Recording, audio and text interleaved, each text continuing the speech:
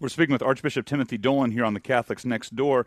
Well, along the lines of asking why, one thing that I've always admired about the people of Haiti is their immense joy that they seem to, to yeah. resonate, even though they're in these horrible circumstances. And now you're hearing a lot of people asking questions.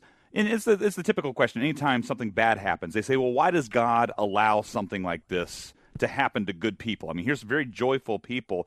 How, how do you, as, as a shepherd to the church, Archbishop Dolan, how do you answer people who say, "Why does God allow things like this to happen?" Well, one of the one of the things I do is sometimes admit that I share that same sense of consternation.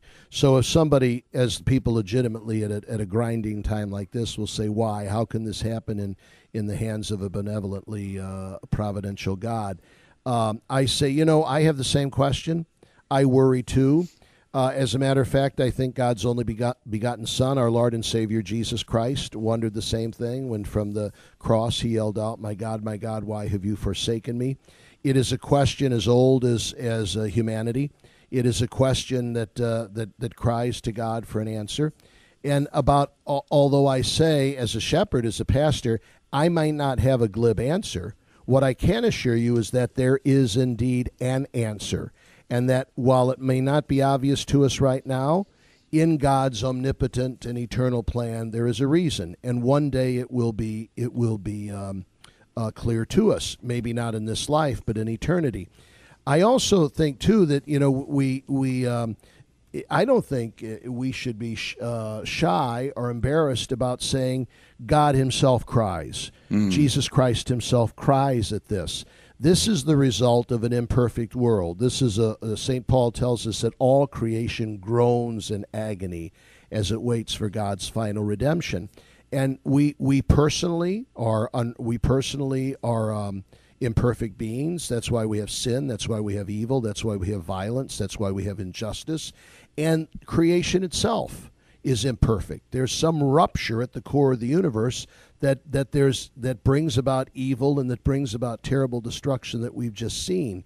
With um, with even with faith, it's very difficult to accept.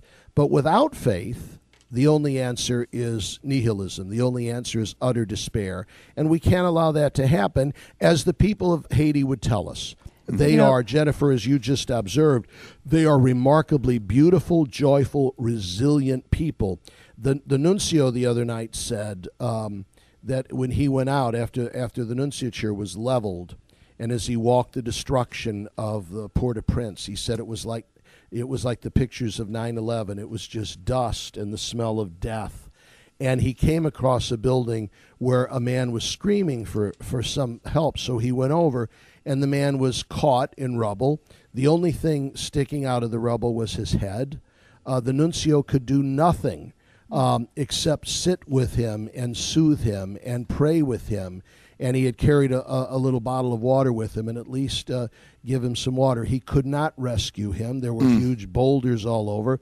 But the nuncio said that man if if there was a man that had the, that would have the right to curse God and give up hope, it would be this man.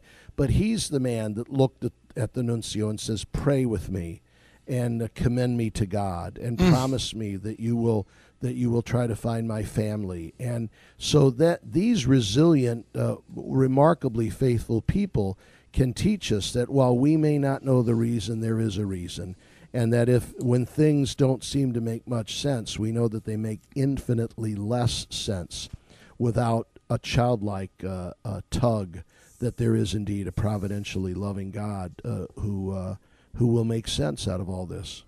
Well, Archbishop Timothy Dolan, thank you so much for all My the work honor. that you're doing with renewed, Catholic Relief Services and everything else. Renewed just, gratitude to you, Greg and uh, Jennifer, and don't let us forget this, okay? We're gonna we're we gonna keep reminding people of it. Uh, it's just something that I'm I'm having a hard time shaking it. So that's telling me that uh, we need to keep talking about it for as long as we possibly can I'm to get proud as much awareness. Of, I'm proud of our Catholic channel with getting this word out. Okay. All right. Well, thank, thank you. you. Archbishop Timothy Dolan. Bye-bye.